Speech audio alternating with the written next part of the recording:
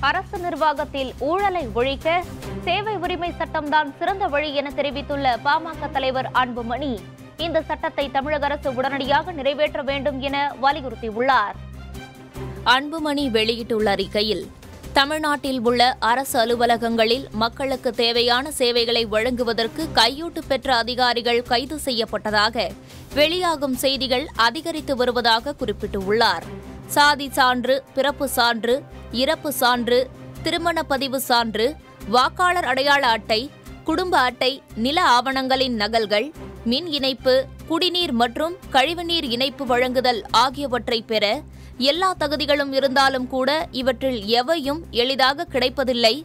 கையூட்டு வழங்கினால் மட்டுமே கிடைக்கின்றன என அவர் விமர்சித்துள்ளார்.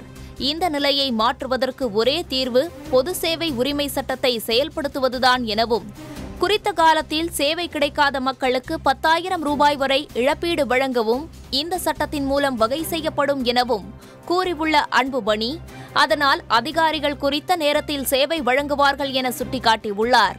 எனவே தமிழக அரசின் சேவைகள் பொதுமக்களுக்கு குறித்த நேரத்தில் கிடைப்பதை உறுதி செய்ய பொது சேவை பெரும் உரிமை சட்டம் நடைமுறைப்படுத்தப்பட வேண்டும் எனவும் நாளை தொடங்கவிருக்கும் சட்டப்பேரவையின் துணை நிதிநிலை அறிக்கை கூட்டத்தொடரில் இதற்கான சட்ட முன்வரைவை தாக்கல் செய்ய முதலமைச்சர் மு ஸ்டாலின் நடவடிக்கை எடுக்க வேண்டும் எனவும் அன்புமணி வலியுறுத்தியுள்ளார்.